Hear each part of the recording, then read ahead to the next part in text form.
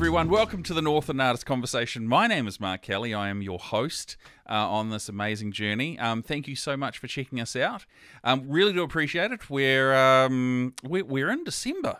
It's hard to believe, and it's it's kind of one of those cool times of year where. Uh, you know, where the days get longer. I, I've definitely noticed the days have gotten a lot longer. The sun is out uh, for a lot more than normal. Um, you know, and you know, not only in the it's coming up earlier in the morning, but also longer in the evening. Um, and uh, sunshine. Although, as of the recording of this podcast, uh, we're due for about I think we're day three of being in some cloudy, overcast rubbish. Um, so it's not that good at the moment. But uh, producer Andrew, um, you're you're uh, driving behind me in the desk tonight, aren't you? Yes, I am. Now we're going to do things a little bit differently for this podcast, aren't we? Yes, we are. We are. Um, now we've been doing this for nearly eighteen months now. Actually, you know, what? I'm going to go off my wide. I'm going to go to the to my camera. We've been doing this for nearly eighteen months now, and we've had some amazing conversations with some unbelievable people. Now, along the way, you kind of m- meet these people, and you have these little podcasts that are kind of a little bit. There's something special about them. Would you say, producer Andrew? Yeah, It's, yeah. I think I think the one you're about to um intro, I kind of described as a bit of shock and awe for us. I think it was like eight podcasts in. Wasn't It? yeah, yeah. So, so what we're going to do is we're actually going to repeat a podcast, um, but for a very specific reason. Um, the reason we're doing it is because this one was recorded last year and was recorded um, sort of quite early on in the piece, and then we sort of left it for a little bit um, until that artist had their the launch of, of what they had. Um, there's there's a lot to kind of note and look out for here. Um, obviously, we were still it was quite quite new. We were Yeah. still sort of getting our finding our feet, getting our way around the podcast. Still going. Still going. Don't freeze! Don't freeze! Don't freeze! on That's the it. computers. That's it. um, oh God, it's crashed again. Ah, frame skips, Um, frame drops. but now um you know we're the what we've been doing what we do now versus what we did back then are two very different things so for this particular guest um i guess the big the big reason i wanted to pick them is because this is a this was a podcast that completely caught us off guard and it was out of left field man but it was Yeah. and it was i think it's for, for i think from my perspective it was one of those podcasts where I felt um, criminally underprepared. And um, when you watch it or, or listen to it, um, you'll understand exactly what I mean. Um, you know, a lot of the guests we've had on, you know, they'll they'll talk and they'll share some stuff about their, their lives, etc., and they'll talk about their art. Um, but this one was this one was uh, interesting, very cool. Um, I think this person is an amazing talent, and I have nothing but the hugest amount of admiration and respect for them. Not only what they've done, but what they continue to do with um, their lives. And they are definitely someone that I look at and go, yeah, that's that's a talent, and that's someone I, um, you know, I can look at and I can aspire to. Um, so uh, this week we're going to uh, do a rerun of Lauren Roche's podcast. Um, now, as I said before, um, if any of this information um, is uh, triggering um, or is upsetting in any way, shape, or form, um, we support an organization called 1737. Um, you can call or text them. Um, they're 24 hours a day, seven days a week. They're, they're there to help, they're there to listen. And if you need that next level of support, they can actually put you in touch with a counselor that may be located somewhere around New Zealand, but someone that is on call and available for you. So, whew, here we go, people. Um, this is really interesting. Let's dive back in and have a look at the conversation with Lauren Roche.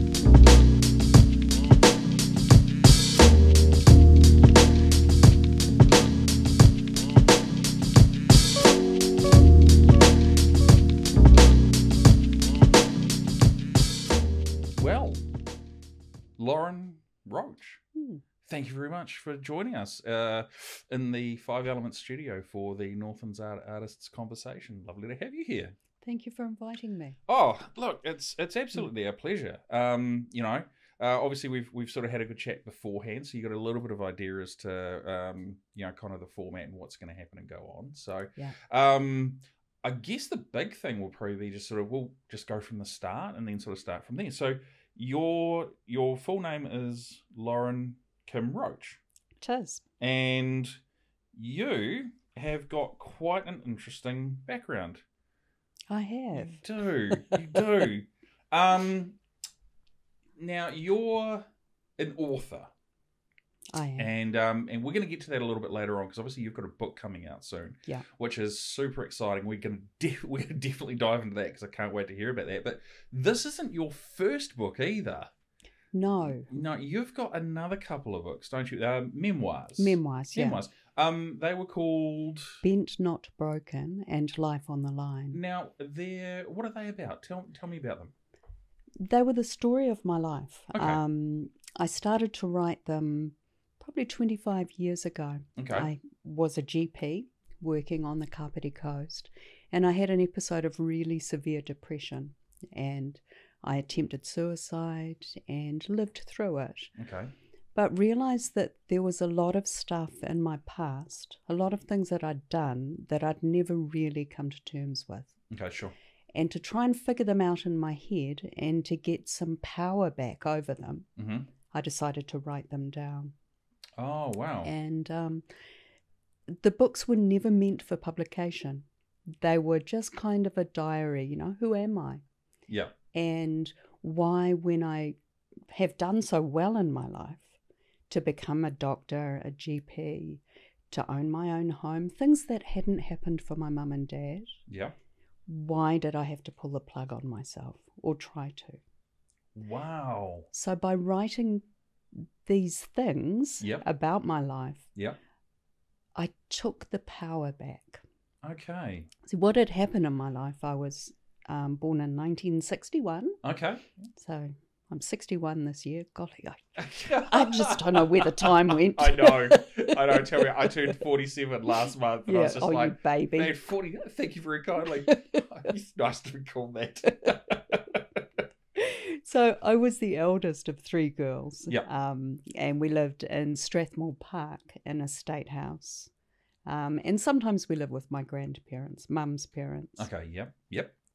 And um, dad was kind of itinerant. He had different kinds of jobs. Sometimes he was an engineer. He Mhm. worked in a little engineering place. Other times he jumped out of helicopters to catch live deer for farming. So dad was a guy who could do anything. Those are very different Yes, jobs. So, well, jack jack of all trades, really. he was. Yeah, So essentially, you moving and studying to become a doctor—that's a very fixed profession, isn't it? So Yeah. sort of completely opposite from what he did. it was. Yeah. okay, yeah. right. But as as I got older and got to understand my dad, I realized that he was a very literate and undereducated man for his intellect. Oh wow, okay. He was a really cool guy. Yep. But you know, when we were young, you, you don't know stuff like that. No, no, So- well, yeah. So dad dad went to live in Australia for a while when I was about five or six. Okay. And I remember my mum sitting at the table drinking and smoking and crying. And she had these three little girls in the state house, and dad had gone. And she didn't really know if he was going to come back or if we were really going to live with him in Aussie. And um, eventually, dad came through, Mm-hmm. And we all moved to Australia and lived there for a couple of years. Oh wow. Um, mum and dad split up during that time, and mum and her three kids moved in with another man and his three kids, and we lived in a caravan.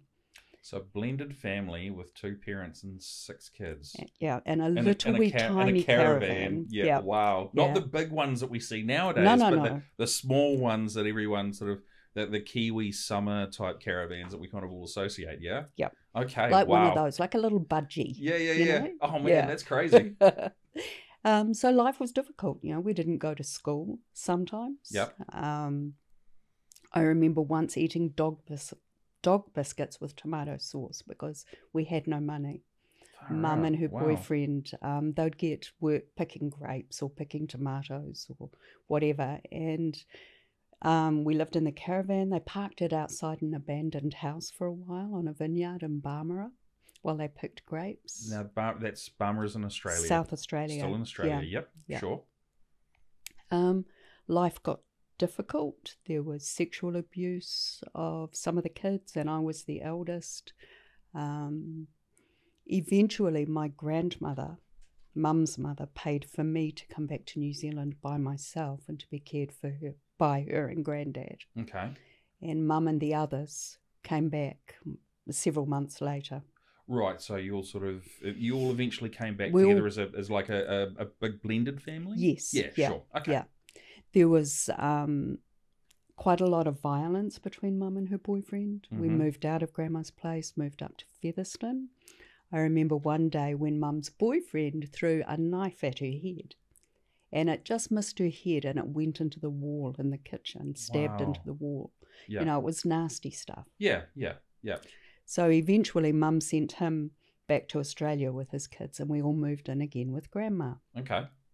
So, my sisters and I had a very stable relationship with our maternal grandparents. We would come back and forth from grandma and granddad's place. Sure. Yep. Um, when I was 13, um, we were living with grandma. Mm-hmm. My mum was really unwell. She um, had a lot of drugs and alcohol and problems with depression. One morning, uh, we got up. She was angry with me and she strangled me until I was unconscious. Um, my sister Tracy saw it happen. Okay. Mum, she was just a mess. She ended up in Porirua Hospital in the secure psych ward Right. and was yep. there for a while. Okay. Um, Now the the is the psych ward still going? I think Porirua Hospital still is still going. Yeah. She, Mum was in Lomond, which was the the lockup for people who really had pretty big problems. Right. I I th- I think it's still going because I, I I I had a, a childhood friend uh, end up somewhere in Wellington. There was actually a feature article and story done on him. So I, I think it was Porirua. But Yeah. so no, please carry on. Yeah. Wow, fascinating. So she ended up in there, Yeah. and one of my aunties said, "Come and live with me." So I moved up to live with my auntie in Auckland when I was fourteen. Oh wow, nice. Yeah. Okay. Um, and one day we heard from Mum. Yeah, she had moved into a flat with a new boyfriend with my two sisters. Okay. My sisters were away on holiday because it was Christmas holidays, January. Nice. Yep. We got a phone call that my mum had committed suicide. Oh wow. And um, she'd been by herself. Her boyfriend had gone out. Yeah. Her three daughters were scattered around the place. Mhm. Nobody needed her. Right. Okay. And she died alone of a drug overdose. yeah. I went from being someone who'd been quite studious and smart at school to Mhm. somebody who was quite smart at school. And the teachers weren't happy, you know. I, I Yeah. once spoke to a woman in a prison and she said, You've got a lot of teeth for someone so smart. Oh right. And I- I can Yeah. imagine. My fourth form teachers thinking the same thing. Yeah. Oh wow. wow. So I left school. I was 14 years old. My mother had died. I was being really naughty at school. They Yeah. didn't like me very much. Yeah. I wanted to be back in Wellington with my grandma, not up in Auckland. Okay. Sure. And so I ran away and went to live with my grandma again. Mm-hmm. So you're, you're wow. Oh man, lots. Of, there's so much to unpack. I know, sorry. That's it's all okay. kind of. no, it's fine. Um, so 25 years ago, you start this journey of writing, Yes. and you're obviously writing all of these Things things, and events that have happened to you. But wait, there's more. And but wait, there's more. It's a free set of Ginsu steak knives. Um, so you're you're you're writing all the stuff, all of these things down. It's all very trauma based. Yes, yes. And you're using it as a As a form of therapy. okay, right? Yeah. I was just yeah. Because sometimes when your head is full of chaos and trauma and stuff, Mhm. it's really hard to dissect the things out. And it's really hard to get some sort of linear narrative and make some sense of it. Sure. Yep. But when you write it down, you have power over those words. Mm. You can screw that paper up, you can burn it up, you can rub bits out. Yeah. And you can make sense of things. You can say, well, this led to that. hmm And then I did something really stupid. So if I can go back from the really stupid thing and see if there was a, a sign that I wasn't coping so well, see if there was some sort of signpost looking back that I was about to do something really stupid and calamitous. So you can almost see if there's what a, a, a pattern that If there's a uh, pattern, uh, yeah. something that gets established. So you can almost become more self-aware, Yes, yeah, and so you can avoid repeating yeah, those mistakes again later on in life. Yeah, Yeah. yeah. Okay. All right. So you're you're you're going through, you're reevaluating, yeah. and you, what do you see? I see that when life is really good, I start to get suspicious that something's happening in the background. Okay. Not like conspiracy theory. no, no, not at all. Not Okay, just right. just the sense that this is too good. So you're waiting This for the is too good. the- I'm waiting for the hammer. yeah the penny to or drop. whatever. Yeah, Yeah. yeah, yeah. Yep. And then I start I started to not sleep so well. Okay. Okay. So if I got to the point where I wasn't sleeping well and I thought I need a sleeping pill, that was a sign that I needed to do something else rather than let things waft out of my control Yeah. and do something dumb. Huge, That took a lot of uh, thinking and a lot yeah. of writing. That, that must have, but what a huge revelation to have. Yeah. You know, because you you would have, you know, as you're going through this process, and your first book was published in 2002? 2000. 2000. Yeah. So your first three years, you're you're just frantically scribbling Yep. all of this information out, and you know obviously you're still working, Mm. um, but you know you're you're as these things are coming to you, you're writing them all down. Yeah. Um, when you have that big aha moment, how powerful is that for you? That was enormously powerful. Yeah. because before then everything had felt as though almost like the world was against me and no matter what I did it was going to turn to shit because Right, it okay, did yep. over and over Yep. but by writing it down and seeing that there were actually some subtle signs that I needed to look after myself better Mm-hmm. I could take those signs and then exercise some more, or drink a bit less, or read a bit more, or go to the beach, or walk in the bush.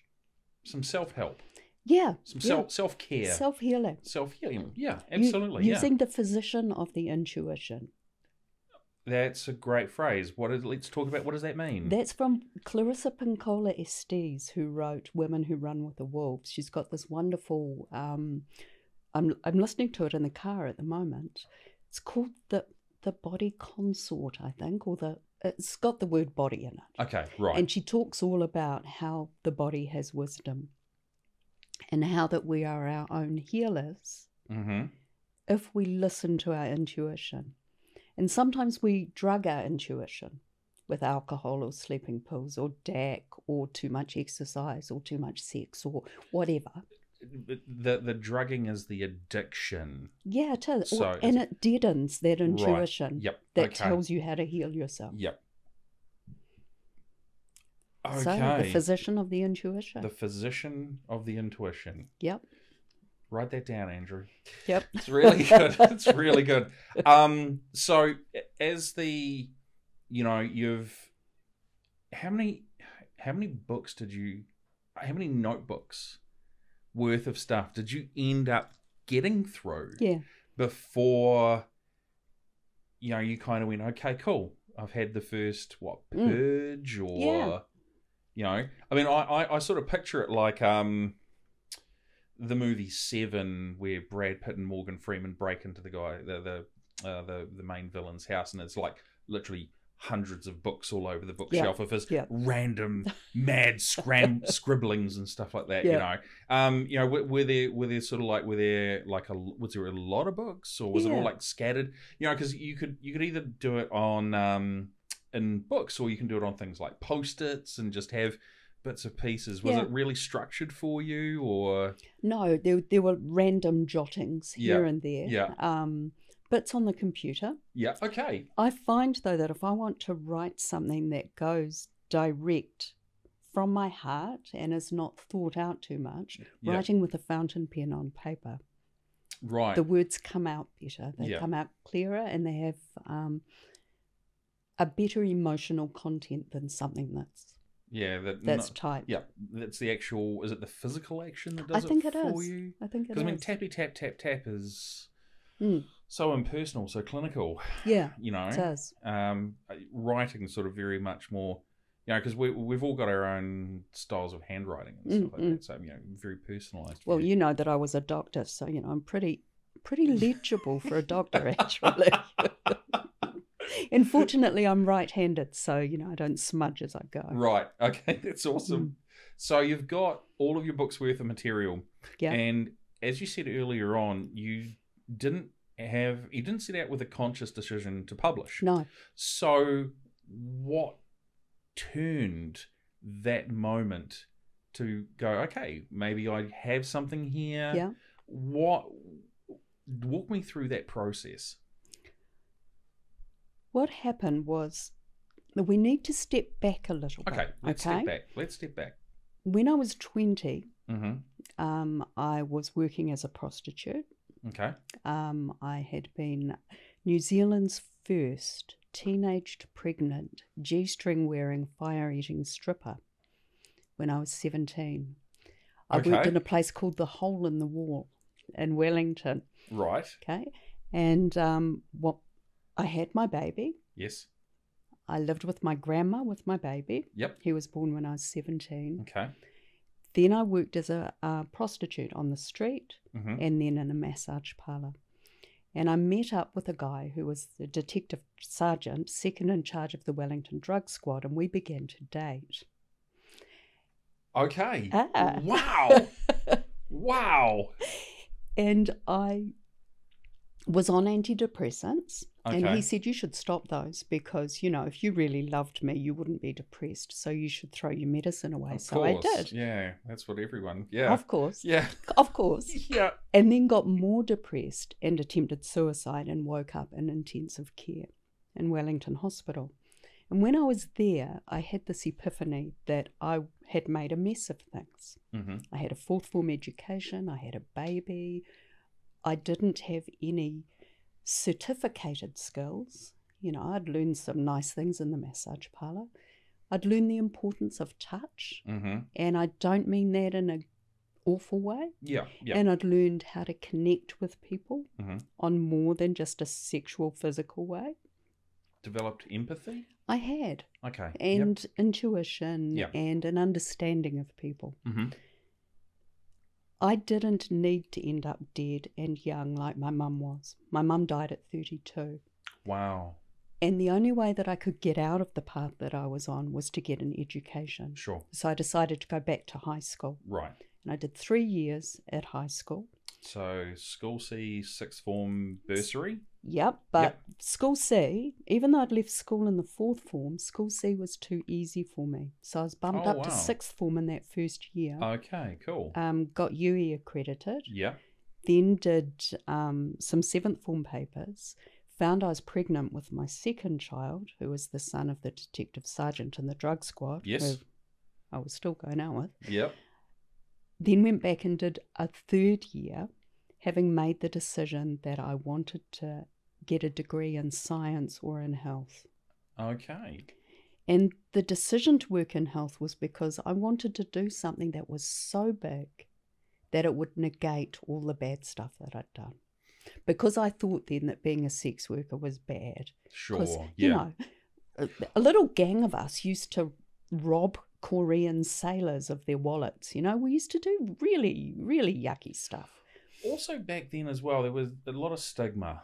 Yeah, there was. A lot of Yeah, stigma. it wasn't wasn't legal, No, no, definitely not. and we did some pretty scody things, you know. Scody. Scody. Oh God, I haven't heard that word in years.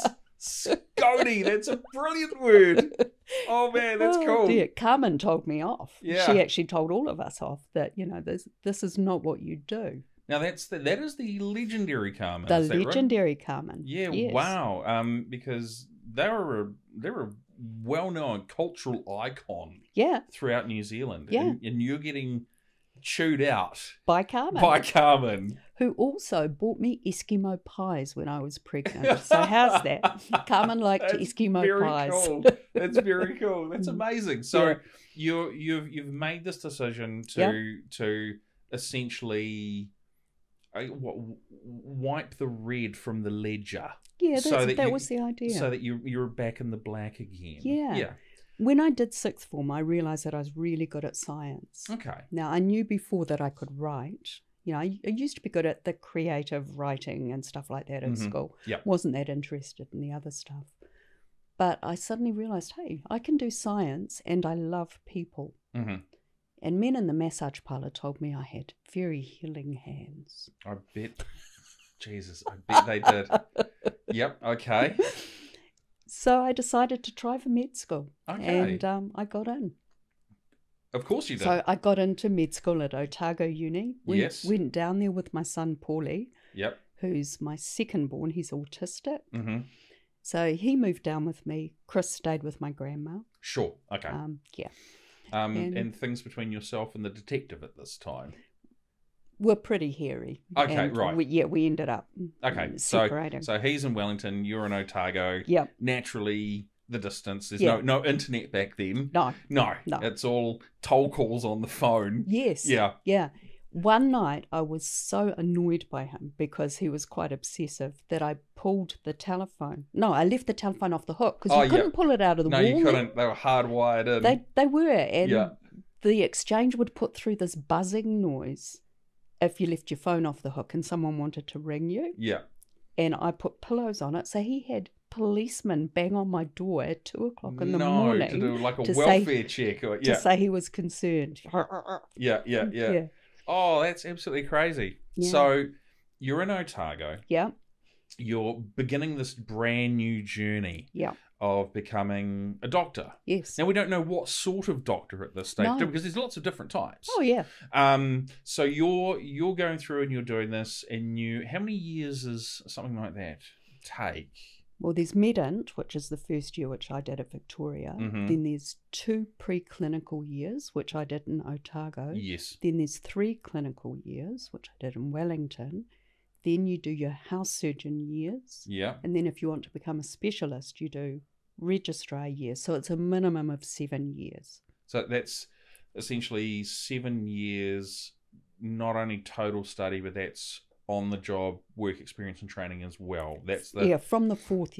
Um, from the from f- fourth year. fourth year onwards. Okay, yeah, so you're that's on when the you're wards. yeah. So you you kind of um, I don't even know what to equate it to, like house or ER or Yeah. something like that, where you know you have the new the newbies come in and they they get paired up with a senior doctor. That's it, yeah, Okay. yeah. Right. Okay. So you're going through. You're doing all of that. Yeah. Um, and you're in Wellington. Yes. Okay. Cool. So I'm in Wellington and I'm working as a junior doctor in the city where I'd been a sex worker. The first job I'd ever had out of school, too, was cleaning the corridors of Wellington Hospital. Wow. That was my first job. So, one of the weirdest things that happened in those early days, I'm walking along the corridor in Wellington Hospital. The part of the corridor I had cleaned as a 15 year old, I'm wearing my white coat, Yep. and this guy comes towards me and he's got a clerical collar on, Yep. right? So he's a hospital chaplain. Yep. Yep. He used to be the manager of the massage parlor where I worked. And he looked at me and I looked at him and it was like, no fucking No way. way, No yeah. Way. You, you have that moment where you're like, I know you, and he's like, I know you. yeah, it was Yeah. more than a moment. We had to go and have a coffee and convince each other that we were both the real thing. And we'd both done this big change. Yeah.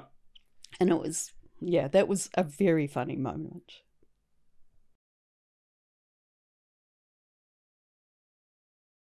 Northland Artist Conversation proudly supports 1737. 1737 are a free service uh, that you can contact either via phone or text message. They're available 24 hours a day, seven days a week. Um, on their website, 1737.org.nz, um, they say, Are you feeling stressed or just need to talk to someone? Are you feeling down or a bit overwhelmed? Do you know someone who is feeling out of sorts? Whatever it is, they're there for you.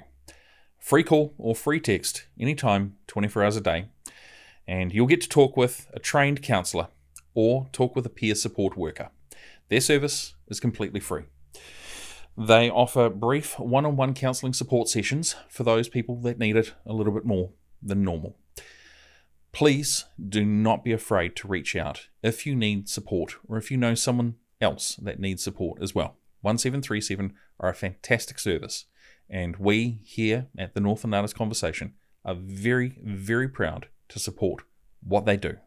1737, free text or free call.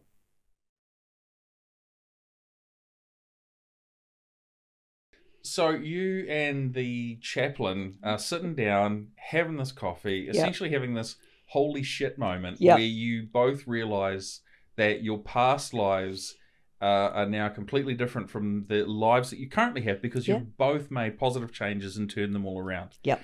Um, I, where to from there? Where do things Hmm. go from there onwards? Because I mean, as someone that is is known you and has been aware of your creativity and you being a doctor as well, this is all absolutely fascinating. Yeah. And I, a lot of the, the people that are going to watch or listen will have just no clue, Mm. no clue whatsoever. So take us on the journey. You've you've had your coffee. You're Yeah. in your fourth year Yeah. when all of this happens. Yeah. Where do now you in between? We were talking very Yeah. very quickly. There's there's a really cool story that you left out, which is you. I'm sorry, you're hmm. going to have to just clarify that for me. What happened at the age of 16? I was walking in Wellington Yes. along the beach Yes. to my job in, in, in an insurance company. I became an insurance clerk right. for a while after cleaning the hospital. Cleaning the hospital. Yep. Yeah. Okay. And there was this beautiful big red ship Mm-hmm. pulled in at the overseas terminal. It was an icebreaker called the Polar Star. Okay. When I was a child, Mum used to take us every now and then onto American ships when they were in port. And we thought how yes. cool this was. Yeah. Yeah. Well, this ship was full of Americans on its way down to Antarctica. And I met up with some of them. They were really cool guys. yeah. Anyway, they went to the Antarctic and I wrote letters. And then one day the ship was back in port in an unscheduled return from the Antarctic because she'd broken down. Okay. Yep. And I thought, you know, I'd really like to go to America, but I've got no money. So here's the ship. So I stowed away. I hid in a space on the ship.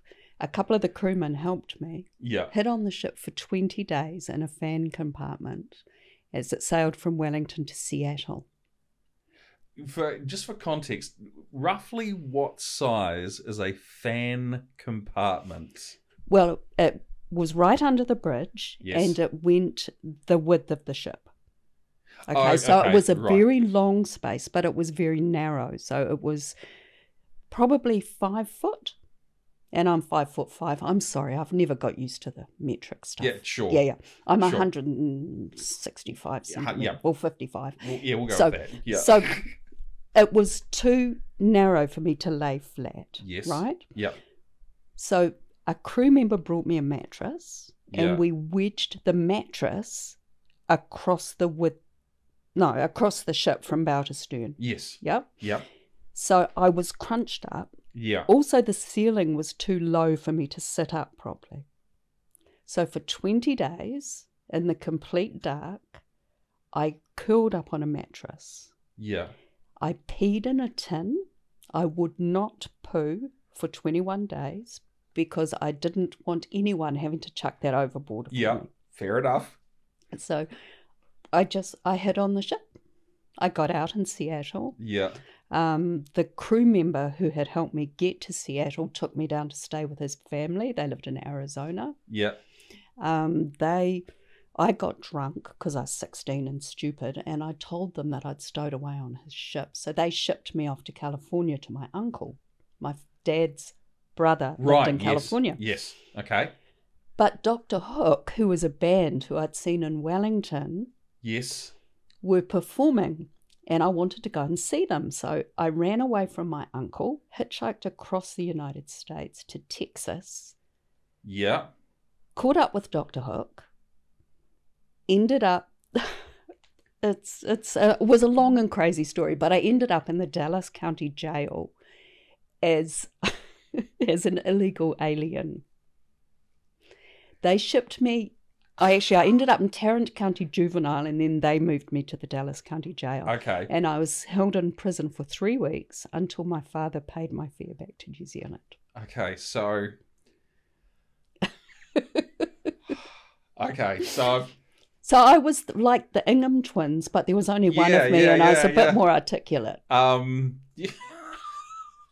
oh, so hang on. Let me. I've just got to. so for twenty days and twenty nights. Yep. You're in something the size that's smaller than most people's toilets. Yes. Yeah. Um, going number ones only. Yep. And you're being what funneled food by one of the crew members. Yeah. He would turn up every day or sometimes every second day Yeah. when he could sneak into this fan Okay. compartment Yeah. because, you know, it was quite a low hatch Yeah. that he had to sneak through Yeah. and then have a torch and come and find, me. find you and bring you Mm. some food. Yeah.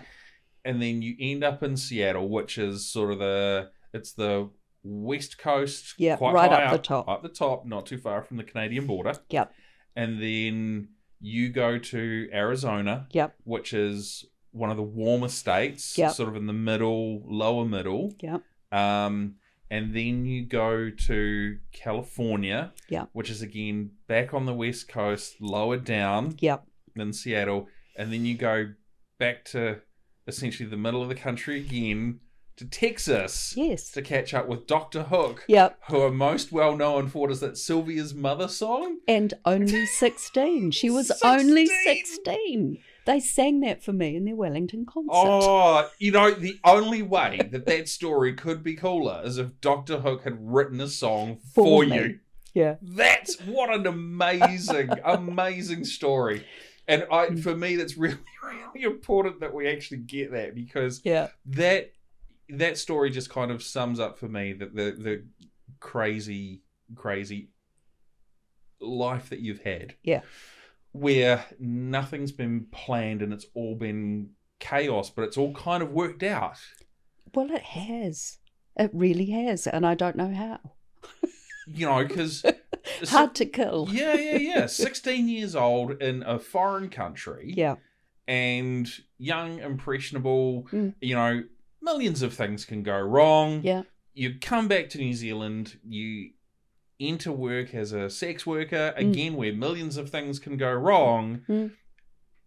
And then we're going to fast forward to you, a cup of coffee, and a chaplain. Yes. Wow. Yeah. Just wow. So I guess you can see why when I published, I had to publish it as a memoir because if I'd written this as a novel, people would have said, "Oh, for heaven's sake, Yeah. you know, please." Exactly. I mean, I, I I think most. I think it'd be fair to say most people would be really like, yeah, okay, Yeah. Yeah, know. no, we yeah we we're not going to publish that. There's just too much bullshit going on in there. Let's just trim, trim, trim, trim. Yeah. Um. So, Let's put some normal stuff yeah, in there. yeah, yeah, yeah. Had a stable life. so you, I don't even know where to go back. To. Okay, so let's let's go back to your you essentially finish your seven years of study. Yep. And you get your PhD. No, No? Um, it's a Bachelor of Medicine, Bachelor of Surgery. Okay, cool. Yeah. All right. So you get that, and then you've you've finished in Wellington. Yeah. Or uh, uh, where, where do you head off to from this point onwards? Well, I've been sort of travelling northwards all my life. Sure. So, Yeah. Because I mean, I'm- obviously you'd come to Auckland with your auntie, yep, and then and then headed back. back Yep, to Wellington. Yep. Yeah. So I lived in Wellington for two, three years. I wanted to be a specialist in obstetrics and gynecology, Okay. but I found pretty quickly that somebody with issues of stress and depression, which has been a problem for me all my life, Sure. Yeah. and with yeah. two kids, Mhm. one of whom's autistic and a wanderer. Um, I couldn't do it. Okay. Yeah. Right. So I set my part ones for that, which is like a big surgical examination, sat them in London and passed them. Okay. So yeah. academically, I could have done it, but spiritually, mentally, I just couldn't. No. Okay. Yeah. So, So, I decided to be a GP. right. Mm. Okay. And where's your first post? Newtown Union Health in Wellington, Right. uh, Okay. which is great. We worked with a lot of refugee populations. Yep. Um, a lot of lower decile people with really high health needs. Mm, It was okay, right. fantastic. It was Yep. really, really good learning. Yep. And um, you're there for About a year and a half, I think. And then I moved up to the Kapiti Coast. I bought Okay. a place up there. right. Um, it was there that I I started to talk to a fellow GP a bit about my life, Right. telling her stuff, Right. trusting her to keep it in confidence. Yeah. And she started to feed little bits out into the community. Um, Right. In fact, she did a public speech once. She was talking, I think it was about prostate cancer awareness. Okay. And she said that there was a GP living locally who shouldn't be looking after people because she couldn't look after wow. herself. Okay. And one of my patients told me this. Yeah. So I thought, you know, I'm about to mess up again here. My life has been so good because it was, it was Yeah. great. And I've told this woman this stuff, Yeah. and she's feeding it out. Yeah. I need to take control of this. And that's when I started to write. That's where the And that was part Yeah. of the trigger. Um, also, I was friends with the taxi company up there because for a while there I didn't have a car. And when I went out on house calls, I'd take a taxi. okay. Sure. And so the taxi driver said, Oh, what are you doing? And I said, Shit, I'm writing some stuff. Mm-hmm, mm-hmm. And they said, Would like to read it. So the, the people from the Sunshine Taxi Company in Paraparaumu yeah. were the first readers of Yeah. what would become Bent Not Broken. Oh, shout out to the Sunshine. They're not Taxi there Company. anymore. They're not there. No, no. Oh, terrible. Yeah, but they were my first readers. Wow. So, going back to the the original question, what made you Hmm. go from uh, this is all for me, this Yeah. is all so I can learn, understand my past Yeah. to make changes to my future? Mm. What was the the moment that you sort of went, yeah, publishing Yeah. is going to be what I do with this this incredibly intimate and personal information Yeah. because it, it, it's not like you're going well I you know I, I had a couple of mental health issues Mm, and mm. this is my life you know we, there's a lot of stuff that's gone on and we've Yeah. and we've covered I, I'm sure just a, a, a very small Yeah. snapshot of it Yeah. but what made you go okay I want to share this with the world and don't care if I'm judged It was realizing the power of writing it down Mhm. and finding out where things started to go wrong so that I could preempt them. okay It was knowing that that was really powerful and that that could help other people. Right. Again, that's that's sort of the, the thing that you learned and when you went Yeah. back to high school. Yeah. Um, your ability, your your desire to help others. Yeah. As well. Okay. Right. So it really came from a place of um, wanting to connect with people through the written word as opposed to uh, face to face. Yeah, well, a bit of both. Yeah. Yeah. I mean, I love, I loved being a doctor. Yeah. You know, it was just the very best feeling, and um, just to to know things about people, to have people trust me enough to share really intimate stuff with me. Yeah. Sometimes that they'd never told anybody else about. Yeah. Definitely. You know, and to be able to share that with them, I cried with some patients. You know, we, yeah, I just loved it. It was great. So you you publish your first book. Yeah. what's the what's the feedback what what are the do is it Hmm. reviewed what what's the Yeah. what, what what do you get given back from it The feedback actually was mostly very good. Um, awesome People said I could write. You know, that was great.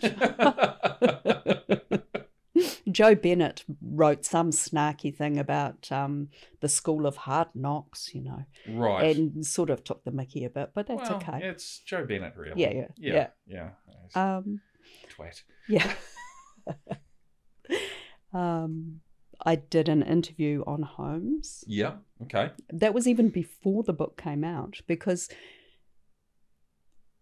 I don't know how this happened, but a local paper got hold of the story that I was writing about my life Okay. and that I was opening up about having been a sex worker. And it's just this little free paper, you know, that Yeah, that sure. they put in the letterbox Yeah. called Contact. And so we did this interview. It was really quite sweet, you Mhm. know. And when it came out, it was the front page. And it was the whole of the front page. And the headline was Stripper Prostitute Doctor with a picture of me walking along the beach. And it was like, oh shit. Wow. wow. Oh, okay. Oh. That is a hell of a headline. It's a hell of a headline. Yeah. Now, my dad rang me the night this came out ah, because Yeah. Yeah. this is a Wellington wide paper. Yeah. And he found it because he was going to visit his parents who were living in a little flat in a retirement village. Yeah. And as dad pulled up, he got the mail out for them and Yep. this free newspaper and he saw it. And he was so upset that his parents would see it that he ran up and down the street and took the newspaper out of Everyone's letterbox. and he rang me and gave me a blast Yeah. too.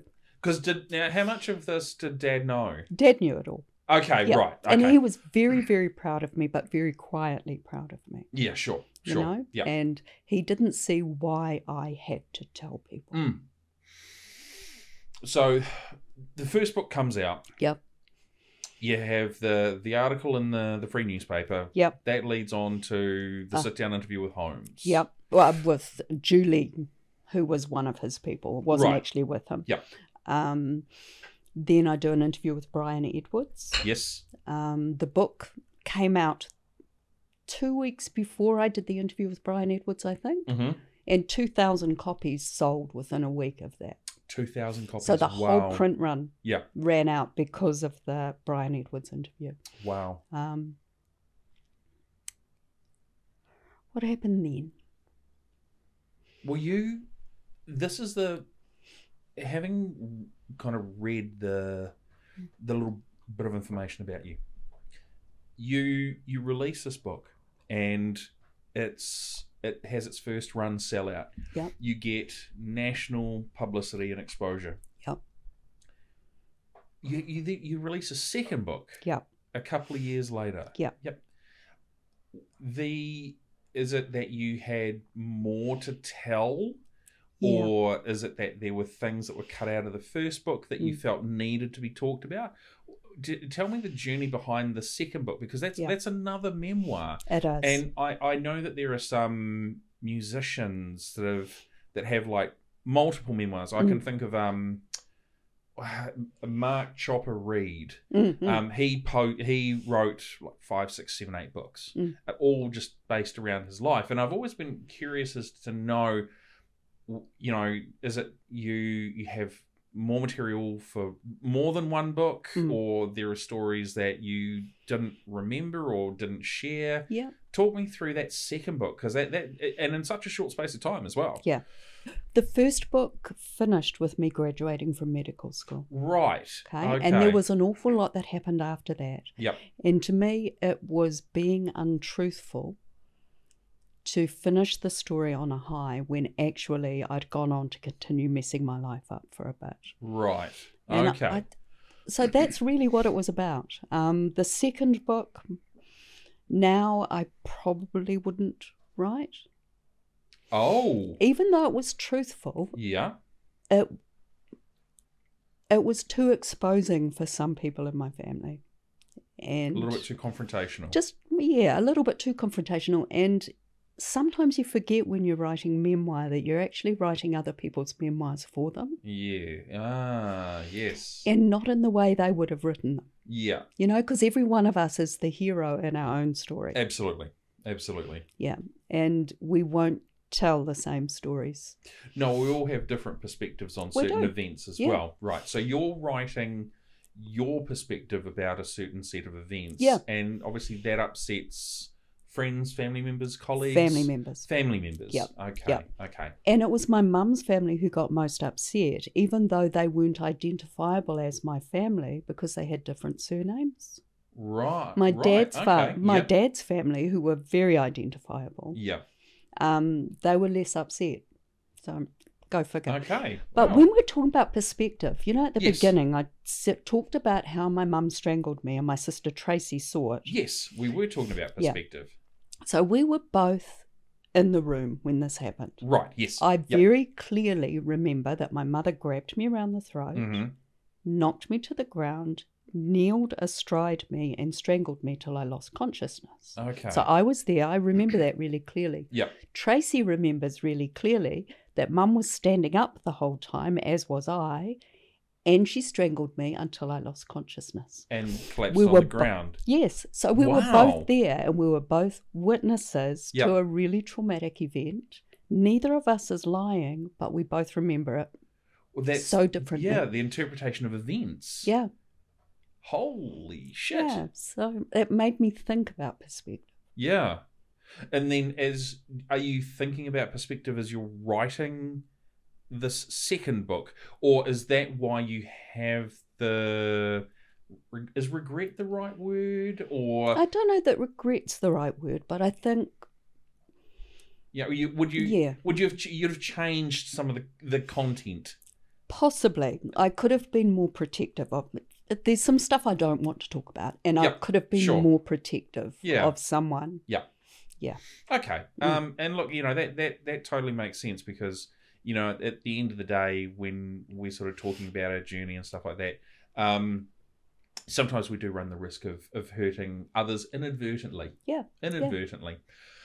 Or even deliberately, and then afterwards thinking, well, actually, that was a bit of a, a Yeah. low blow. Yeah. Uh, and um and and time can heal old wounds as well. So Yeah. when you're intentionally trying to hurt someone, twenty years down the track, you may not feel that way. That's right. Yeah. It's sort of very much in the moment now you you, you write these two books 2000 2002 and then you, you're a gp Yep. um, you migrate your way to whangarei Yep.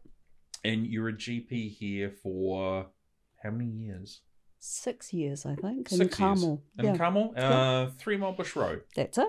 Yeah. oh, sorry three mile what the hell was it Bush? Road, bush road medical, Centre. center that's, the one it. that's yeah. the one Yeah. and you but you're no longer there are you No. On my way towards Bush Road, I lived in Napier for a while, yes and I Love did Napier. Iron Man.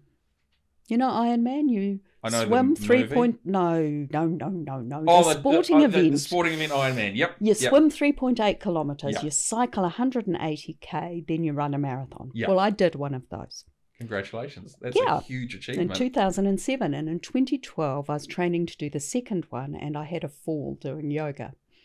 And in the fall, I prolapsed three discs in my back, okay. and I had back surgery after the Ironman event. Yeah. Um, and in the course of the surgery, something happened to my spinal cord. So there was a medical misadventure. Right. Um, and I ended up with a condition called arachnoiditis. hmm Now, the spinal cord and the brain are covered by three layers called meninges. That's where meningitis comes from. Right. Okay. That's inflammation of the meninges. Yep. Well, one of the meninges is called the arachnoid layer because it looks like a spider web. Oh. Okay. Yeah. Yep. Okay. That makes sense. Yeah, and if that's injured, hmm it creates an inflammatory mass that traps all of the nerves. Yep. So I had this injury that affected all the nerves from my waist down. So I couldn't run because if I tried to run, I'd fall over. Sure. I couldn't swim because my legs didn't work properly. And Right. if I got out of the pool, I couldn't walk. Yeah. I couldn't cycle because I can't sit on a bike seat for Yep. that long. Okay. So suddenly, that part of my being, hmm that part of my identity disappeared. Yeah. Because the as as you as you sort of said earlier, um, when you were talking about how sometimes you're waiting for The waiting for the other shoe to drop. fall off. Yeah, yeah, yeah. Um, you talk about doing something different, and you mentioned exercise. Yes, Um, yeah. Exercise is obviously something that's kind of become a, a bit of a core part of your identity. it has. Yeah. And then for that accident to happen, for a little bit of that to be taken away. Yeah. Okay. Yeah. So, what happens, sort of after the incident and the and the and the medical malpractice? Yeah, I for a while, I was better Mhm. from the prolapse discs, but gradually, the more I exercised, the more I started to fall over and have funny neurological symptoms in my legs. Okay. And um, arachnoiditis is incurable and progressive. It's a pain disorder and a mobility disorder. So I trip and fall easily, and I walk a bit funny sometimes, especially if I've been sitting down for a while. Sure. Um, so I started to tell my patients if you see me in town and I'm trying to hurry across the road and it looks like I'm drunk, I'm not. It's just that my legs don't always work Yeah. that well. Yeah. But soon the pain got too much and Right. yeah, Yeah. the okay. neurological stuff was too much and I wasn't as compassionate or as kind or as curious as I wanted to be as a doctor. So I pulled the pin on my medical career. Was that sort of something that you just did gradually, or Yes. okay, right? Yeah. So you sort of slowly wound yourself down. I did, yeah. Right. Um, how hard was that? It was really hard. Yeah. It was really, really hard because becoming a doctor was a huge thing. I was the first person on my mother's side of the family to go to university Yeah. for generations, Yeah. anyway. Yeah. Um, my dad's brother had been to university in the States. He got a tennis scholarship, um, but nobody else had. You know, and after me, quite a few of my cousins went to university, and I hope that I helped to open that way for them. You pioneer. Yeah. Nice. Okay. So it was a big thing, and the communication with people was such a big part of my life. Yeah. Okay. So you've you've essentially wound down your time as a, a GP. Yeah. But you've decided to make a another segue, Yes. and North Mm. Tech, NorthTec is calling. And, North and now, what did you do at NorthTec? I did a year and a half of writing. Yeah. I did um, a level six half year and then full level seven year. Mm-hmm. And for level seven, I wrote a novel called Mila and the Bone Man, Yeah. um, Okay. Which is going to be released on the August the 18th this year. Which is why we're here. Yeah, yeah. So Mila was mentored by Pip Adam, who's an amazing New Zealand writer. Yes. NorthTec, their creative writing program, I think they're the only polytechnic who's doing creative writing in the whole of New Zealand. Wow. And it's world class. Yeah. It's absolutely world class. They've got amazing mentors, great teachers. Can't recommend it highly enough. Okay. So you go do half a year of level six. Yeah. Level seven. Yeah. Just absolutely nail it, and you Yep. write this wonderful book. Yes. The year after that, Yes. which is last year, I did a master's in creative writing through AUT. Yeah. and I wrote a book called Songs to Sing to the Dying. I got first class honours for it. That book will be out probably in a couple of years. Wow. So, So this is we're really getting a scoop here. yeah, you are. So you not only have you got one book coming out this year, Yeah. you're going to have another book in a year Yeah. or two's time. Yes. And there's a third book, which is currently with some editors in the United Kingdom called The Anatomist's Handbook. So, Three books. Yeah. I- You're going to have three books come out in what a five year period, I think so. Yeah. and all, all from the what was it, stripper, prostitute, doctor? That Yep. was headlines. Yes. Oh my goodness! So let's talk about the book that we've got coming out this year, because obviously, as the other ones come, we're going to get you back in. Good. Great. Because that that those conversations are going to be absolutely amazing. Yeah. Let's talk about that. What is the book about? And okay, Mila and the Bone Man. Mila is a Mila. Yep. yeah, she's a young woman who lives in Northland. Okay. up near the forest near Russell. Right. Yep. Okay. Yep. Um, I conceived the book when I was walking, well, kind of staggering through the Pukenui forest. Yep. So Mila is about 12 in the book. Okay. She has a friend called Tommy who lives next door, and to- Tommy's on the autism spectrum. Sure. Tommy finds a human hand in the forest, well, the bones of a human hand, Okay. and takes them to Mila. Yeah. Now, Mila's quite clever. She knows who the hand belongs to. And she Okay. and Tommy Yep. reinter the bones or the skeleton of this man Yeah. in the forest where no one will walk on him, no one will harm him. And Mila learns the story of why the man was killed in the forest because Tommy was a witness to what happened. So I can't tell you too much more without wrecking the story, but it's a story set in Northland Yeah. set in the bush.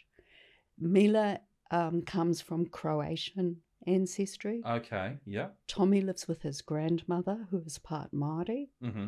Sh- She and Mila and Mila's family are healers, Yeah. using the different traditions, the old and the new together, Right. So they're combining traditional Maori and and, and modern, Croatian. and, Croatian. Yes, Yep. and modern Western medicine. Okay. Wow.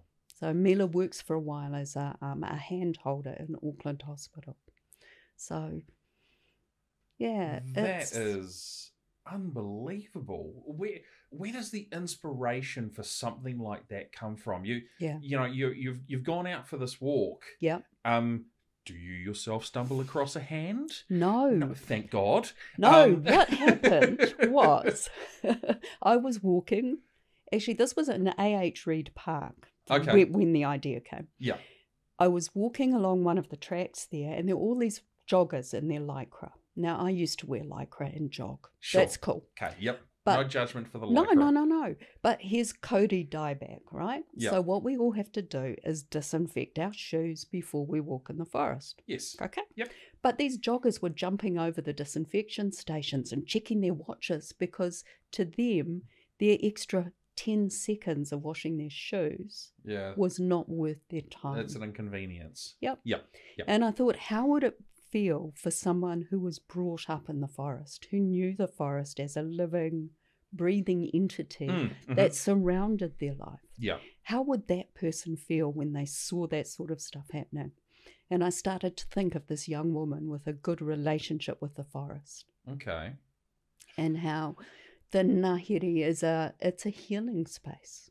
Yes. But here's these people who are too important to take care of it. Filled with their own self importance. Yeah. Yeah. Okay. And then, did you sort of de- develop the initial concept in the year six, or sort of Hmm. year, in the year seven? Year seven. Year seven. Okay. Um, and this is obviously where the the the wonderful course and the tutors and the assistants from NorthTec come from. Yeah. Uh, You do you, what is what process did you go through to sort of you know you've you've got this initial seed of an idea in your head. Yeah. Um, how do you sort of go through it with with actors? What they'll often do is they'll often workshop things. Yeah. Um, musicians will often um, you know sit down with musician you know, fellow musicians in the band and they'll Mm, sort of structure things out. But uh, writing's very it's very single person. Yeah. But in a course like NorthTec, you have classmates Yes. and you workshop your chapters as you write them. Right. So I would read their chapters, they would read my chapters, Yep. and we would give each other feedback. Okay. We were writing in different genres. Yeah. Um, two of them were writing fantasy. Mm-hmm. Um, one was doing podcasts on true crime, true female criminals Right. in New Zealand. Yeah, that'll be interesting. Yep. I can think of at least one. Yep. Heavenly Creatures. Great Yes. movie. Was it Kerry Hume? yeah, and Minnie Dean. oh, really? Remember Minnie Dean, I- the baby farmer? I do. Yeah. Wow, that's going back. Yeah, it is. Okay, so you're you're as you're writing chapters, Yeah. you're sort of workshopping everything, Yes. and they're providing you with feedback as to what they like, what they you know if there's any minor changes that need to be made. Yeah. How long does it take for you to go from initial concept through to essentially completion before it gets handed off to, or before it gets, you know, bound together Yeah. and then sent off to publishing houses Mm. for a- approval or? Yeah, it took I think six months to write Mila, and Wow. then there's the editing process, Yeah. working through it too, Yeah. you know, and tidying it up. Yeah. I finished it three years ago, and it's only now going to publication. So it's been slowed down by COVID. Um, all sorts of things Yeah, have slowed it down. course, of There's course. a worldwide paper shortage, partly caused by COVID, partly by the war in Ukraine. So all sorts of things get in the way of a book coming out. Yeah. I okay. COVID, I would understand. Yeah. But a paper shortage. Yeah, yeah. who would have thought? Yeah. Who would have thought? That's that's crazy. So Mm. you've got so six months Mm. to write a book, but then Yeah. essentially two and a half years Yeah. worth of editing. Now, uh, as someone who's not a writer, Mm. um, you know, but I mean, I've uh, I've, I've certainly written songs and lyrics and stuff like that. Um, is it is th- is that sort of process very collaborative between yourself and the editor, or do they Yeah. sort of sit down and go cut, cut, cut, and then you know Mm. redo, redo? It depends. Okay, Yeah. What I did with Mila is I wrote the full manuscript, sure, had the editing process through NorthTec and with Pip Adam, yes, which was really helpful. Then I sent it to my agent, who shopped it around some publishers.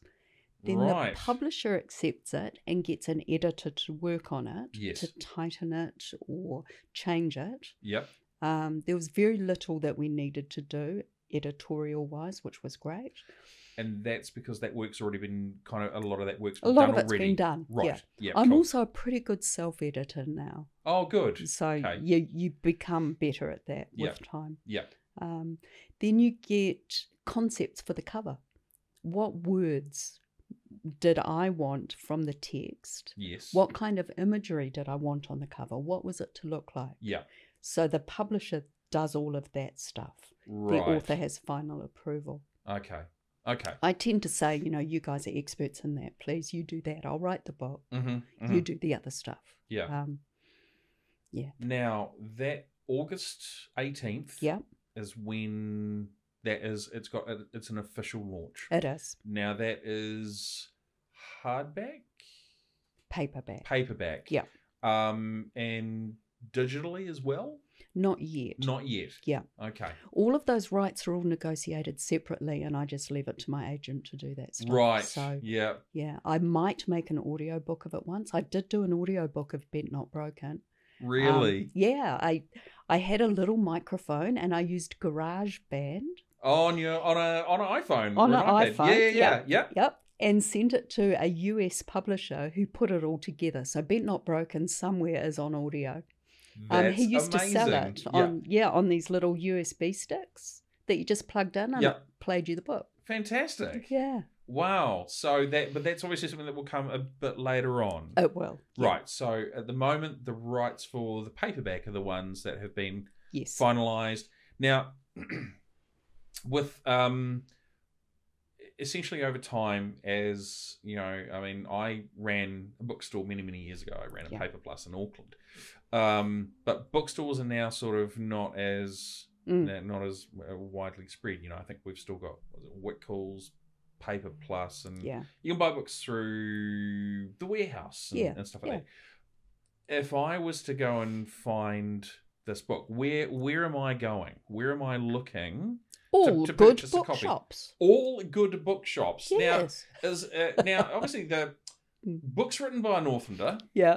The book uh, is, features Northland as a main character. Yeah. Does Northland get the exclusive official first launch, or does it go nationwide all at once? It will go nationwide all at once. I'm mm. not sure yet whether there'll be a physical launch because of COVID and because Yeah. of all sorts of things. Yeah. You know, a lot of people don't want to gather. We might do a virtual, a Zoom launch. That I would- know quite a few authors have done that. Yeah. But I will let you know and you can let people know. Please, that would be amazing because one of the things with the podcast is to support all Yeah. all talent um artistic people in in any way possible so please let us know and we'll we'll do Will a do. special little um we'll do a special little video for it but Thank you. that is amazing so the the name of the book is Mila and the Bone Man. Mila and the Bone Man now Yeah. I, I get the Mila the Bone Man don't if it if it has some significance don't spoil it No, Tommy, her friend, yes makes um, models out of bones he finds in the forest or on the beach. Yep. So he makes mobiles and models. right And he calls himself the Bone, Bone Man. Man. So it's really the story of the two of them. Yes, but there's also a dead man in the forest who's only bones. So Ah, you could- choose your own exactly, bone man. Exactly. Yeah, very cool. wow. Um, where can people find you this wonderful pool of information, where Yeah. where can they where can they reach out to you? I am on Facebook, Yes. Twitter, Yes. Instagram, and Tumblr as Yes. Lauren Roche. Yep. Um, my Facebook was recently hacked, so I've opened up a new Facebook account. There's a bit of that going around at the moment. There's a bit of that going around. They posted pro ISIS stuff, Yes. and I've been locked out for 20 days now. Yeah, So- uh, actually, that happened to a friend of mine over the weekend. Yeah. He got hacked, and apparently there was a whole bunch of things that if you clicked links, all manner of inappropriate stuff came up. But Yeah. it's terrible, Yeah, terrible. So you've got a brand new Facebook page. I have, yeah. Yeah. Cool. Yeah. Okay. But um, Instagram, Twitter, Um, Tumblr. and Tumblr. Yeah. Um, and it's all Lauren Roche, Roche. or Um, Lauren underscore Roche, or Twitter is Dr. Bob61. Because when I was a rugby doctor, they knew me as Dr. Bob, short for Kate. Which, if you're a Blackadder fan, you'll know what I'm talking about. I think I know the reference. That's Yes. from I want to say Blackadder goes forth. No. No. No, it's one of the Blackadders with Queenie in it. Oh, oh, The Highwayman Bob, short for Kate. oh my goodness! Highway I woman. Love Slack Bladder. Yes. Yes. Uh, is it um Lord Flashheart? oh, wasn't Rik he Mayall. It's- wonderful? It's, it's just one of the best characters ever. yeah. So good. Mm. Oh, look, Lauren, thank you so much. So just unbelievable. Mm. Absolutely unbelievable to have you come in and sit down and talk with us today about your your journey, Mm. what you've been through, and um, Mila. Um, because she sounds like a truly multicultural but really rich, deep character as Yeah. well. I'll be, uh, you know, I've been looking for a good book to read for a while, so I don't have to wait too long. So, 18th of August, Yes. that's the release date. That's a Wednesday. Thursday? Wednesday or Thursday. Wednesday or Thursday. Yeah. I think the publisher just picked the date out of the air because I was hassling him. Right. Yeah, fair enough. Looking for a release date to go. This one will do. Yeah. Um, so thank you again very much for coming on. I really appreciate it. Thank and um, yeah, we look forward to sitting down with you very, very soon. Thank you. Thank you. Well, there we go, everyone. Bit outside of the norm of what we do, but it was one of those podcasts that were that has such depth and gravitas to it that um, I really wanted to be able to cover it again um, and kind of bring it back to people's light. Um, Lauren's journey is um, you know, um, ama- you know, I could throw the usual words around: amazing, unbelievable. You know, you, you throw you throw all these hyperbolic words around, but it, it really is unique. And you know, I mean, I'm I'm 48, and I've never in my lifetime met anyone that's gone on half the adventures that Lauren has, and it's just it's just unreal. Um, you know, whether it be her time as a prostitute, her time stowing away on a boat um, to go to America, um, how she became a doctor, um, and then how she became, you know, a, a best-selling author. You know, her her two autobiographies, and and then her her book that she launched around this time last year, Mila and the Bone Man. Um, you know, she is a, a woman that's gone through. Uh, Producer Andrew, Yes. would, would it be fair to say that Lauren's gone through a lot? uh, that'd be almost an understatement. Yeah, Uh, she's um, she's she's lived like twice the life already. You she know, like, has, and yeah. still so much more to go. it's just uh, yeah, that stowaway story still gets me. Yeah, I yeah, tell people every time I'm like, start with that one. It's crazy stories on there. definitely. And um, you know, as I said in the intro, it's one of the podcasts I felt the most criminally underprepared for. Yeah. Um, but also, I mean, I don't. So I, I, I don't have a degree in journalism or anything like that. I just enjoy sitting down and talking with people and getting to know them. Um, but as uh, I've said it a few times, and I've I, I know I've said it quite a lot to some of our guests. Um, it was probably one of those very one of those few occasions where I felt like a complete fraud. Um, I was sitting here this whole time being completely blown away by how amazing and open Lauren was, and I was just I, I remember I remember sitting here going, I have no idea what I'm doing. and I'm not prepared for this, but man, she she made it easy, and it was a lot of fun, and we got through it. And she is a, a, such a, a, wonderful human being. Um, since this, uh, you know, since their podcast came out originally, um, she had also invited me to um, MC uh, her book launch, which was held at the library um, earlier on uh, in 2023.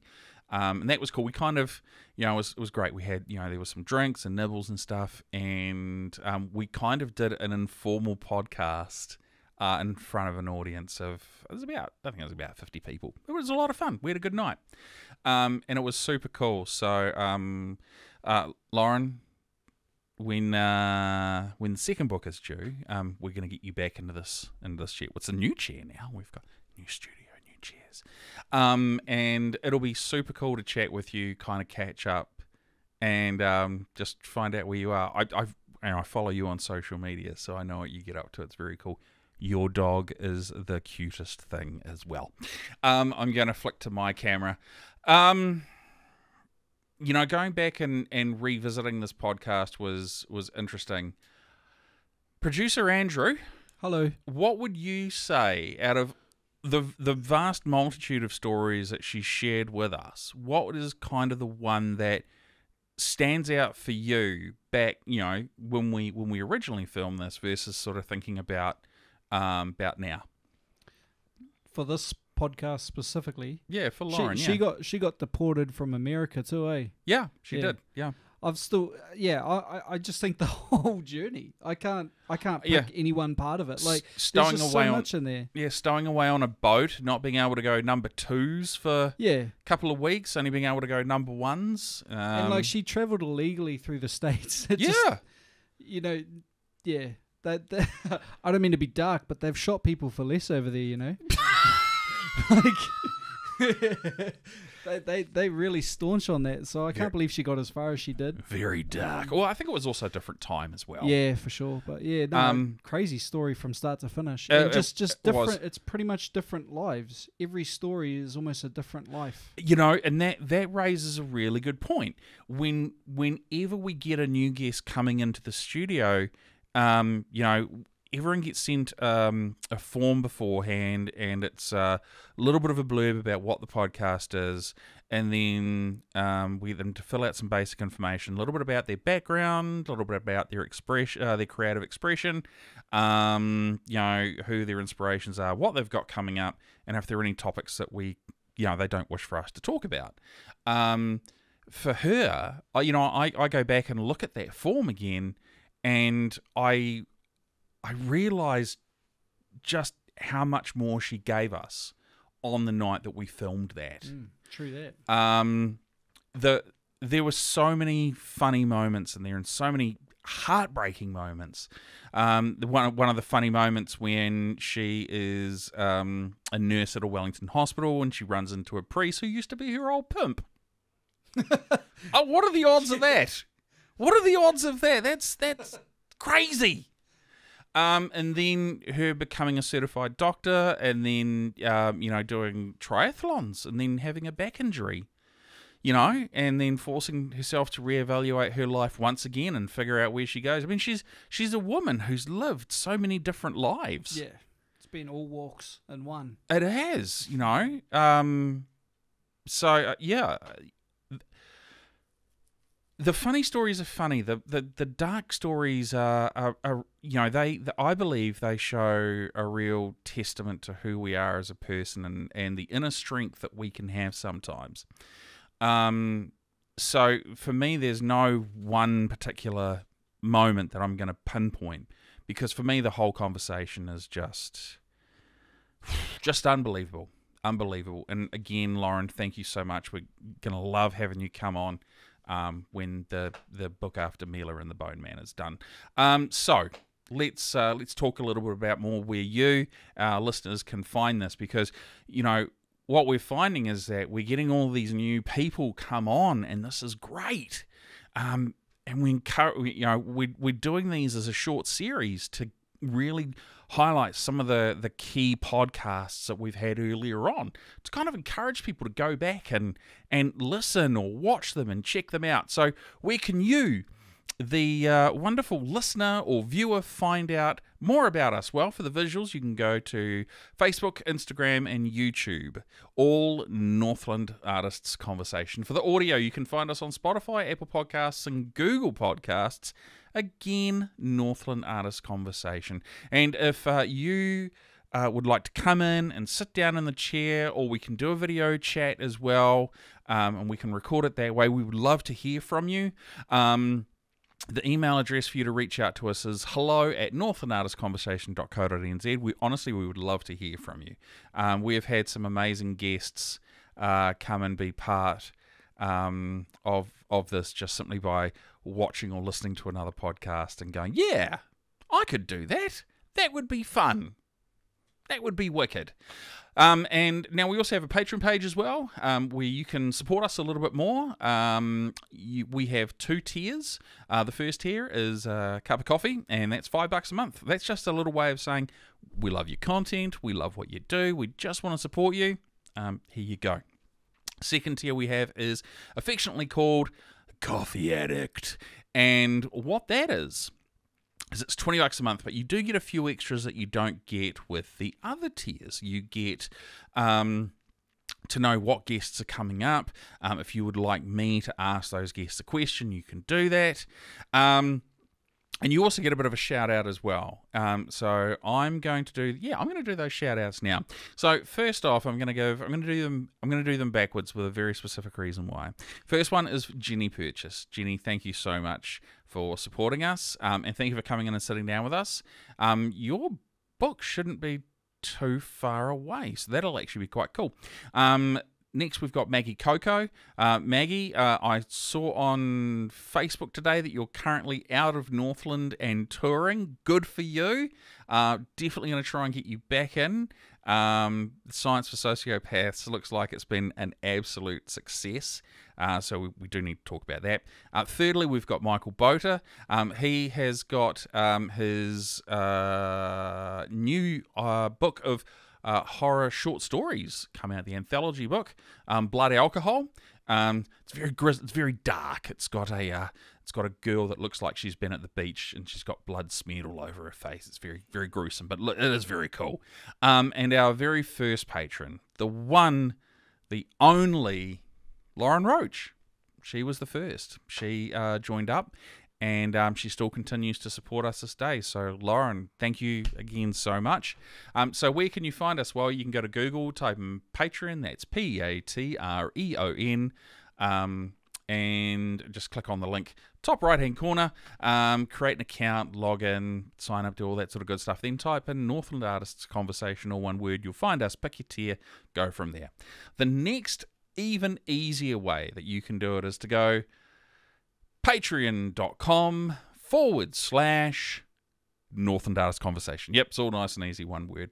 Um, create your um, account, pick your tier, go from there. Happy days. Um, yeah, nice and easy, really. I'm gonna flick to my wide, um, and here we are. So we are v- we're this close to Christmas now, this close, and um, it's it's going to be a good Christmas and a good New Year's. Um, we've got some amazing surprises coming up in the new year. We've got some very cool things happening, and uh, we are definitely looking forward to sharing all of them um, with every single one of our guests that's been on, and every single one of you that has watched a podcast or listened to a podcast and has supported what we do. Um, so, on that lovingly high note, thank you very much for tuning into the Northland Artist Conversation. My name is Mark Kelly. We will see you guys real soon.